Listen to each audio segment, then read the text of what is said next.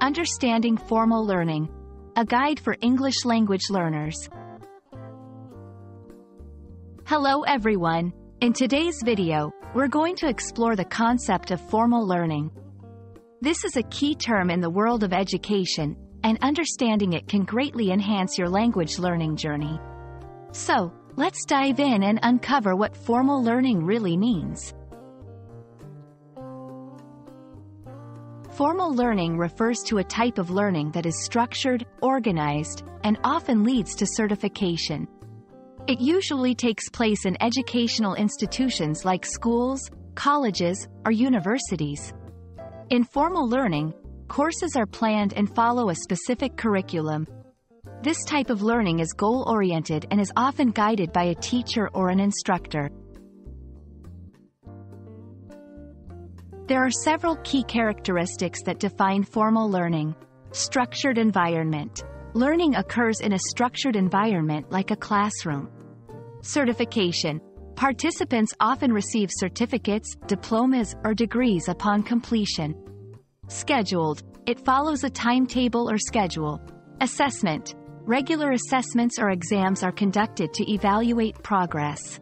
Teacher-led. Instructors or teachers guide the learning process. While formal learning is structured and institution-based, informal learning is the opposite.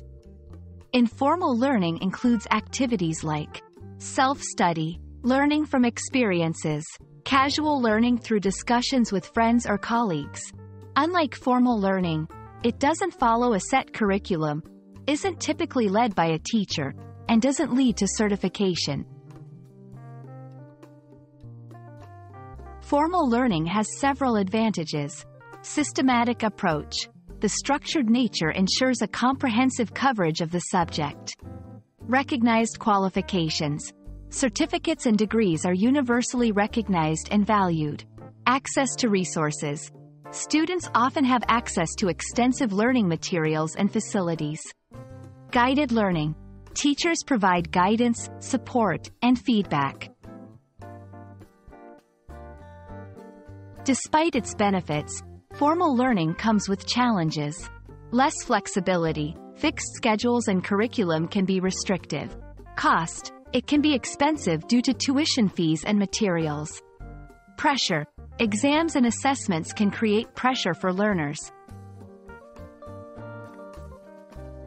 I hope this video has helped clarify what formal learning is and how it differs from informal learning. Remember, Every learning journey is unique, and choosing the right path depends on your individual goals and circumstances. Thanks for watching, and happy learning!